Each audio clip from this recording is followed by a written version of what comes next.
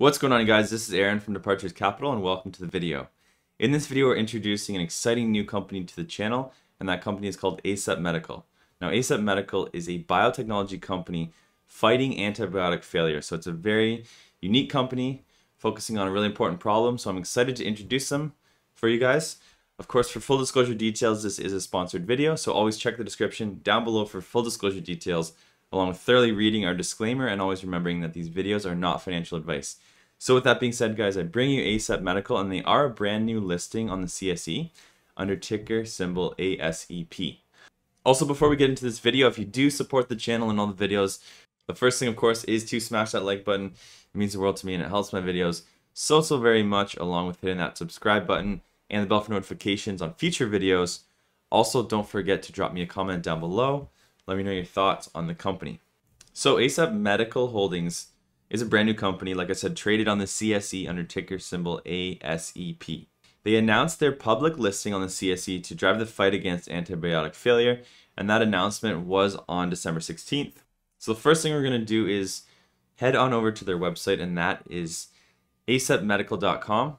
We're going to take a quick look and then go a little bit more in depth in terms of their investor presentation, get an idea of what the company does, and we will be having their CEO on for an interview. So I look forward to that. So, ASEP fighting antibiotic failure on two fronts. The diagnostic front, novel assay provides earlier, faster diagnosis and targeted treatment of sepsis. Therapeutic, patented pharmaceutical peptide targets currently untreatable biofilm infections. So the crisis, widespread in Delhi. Let's learn a little bit about the problem here. What are they trying to solve? 49 million cases of sepsis per year, 11 million sepsis deaths a year, 100% incidence of sepsis and COVID deaths, 10 to 1,000 times more resistant to most antibiotics, zero drugs approved for biofilms. Now, this is, of course, the therapeutic side, and 65% of all infections are biofilms. So, a little bit about the company. Large addressable global market with no efficient clinical solutions, novel technologies in the early diagnosis of sepsis and treatment of biofilm infections, extensive intellectual property, portfolio of both diagnostics and therapeutics, near-term revenue models with multiple corporate partnership targets, publicly listed for further enhanced shareholder liquidity and experienced management team with proven track records in medtech and biopharma. So multi-billion dollar opportunity as sepsis and antibiotic resistant infections continue to be a severe burden on the healthcare system, ASEP offers excellent investment potential with a combined market of 179 billion and robust growth. 41.9 billion global antibiotic market, and that is growing at a compound annual growth rate of 3%. And there we have it broken down. Global urinary tract infections and global wound care market account for 29.5 billion worth of the market. So now it's time to dive into the investor presentation to get a better idea of what the company does. So fighting antibiotic failure on two fronts. A rare combination, ASEP brings both a novel diagnostic and therapeutic approach to the urgent multi-billion dollar problem of antibiotic failure. Our purpose is to mitigate the global crisis of antibiotic failure by improving patients' odds of survival and quality of life. So we did just go over the facts. We're going to skip this slide.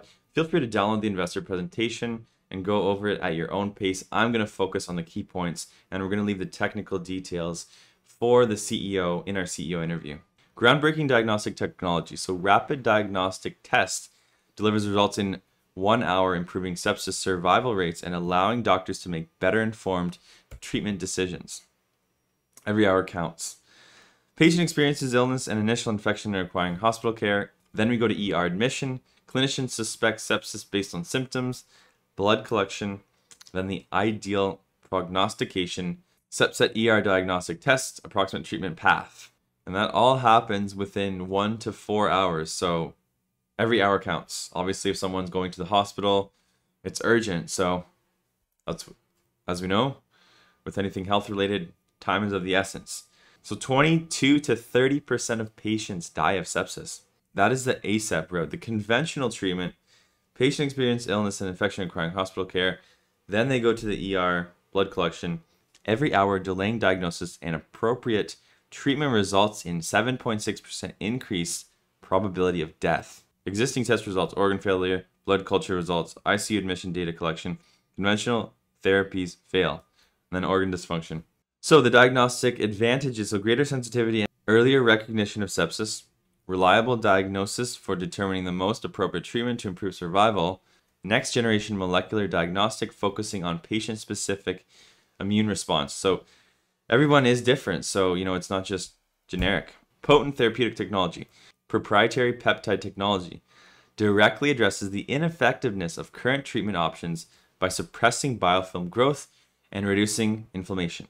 Attacking the biofilm, MRSA biofilm on human skin, our peptide destroys the. So, bacterial biofilms are very resistant communities that grow on body surfaces.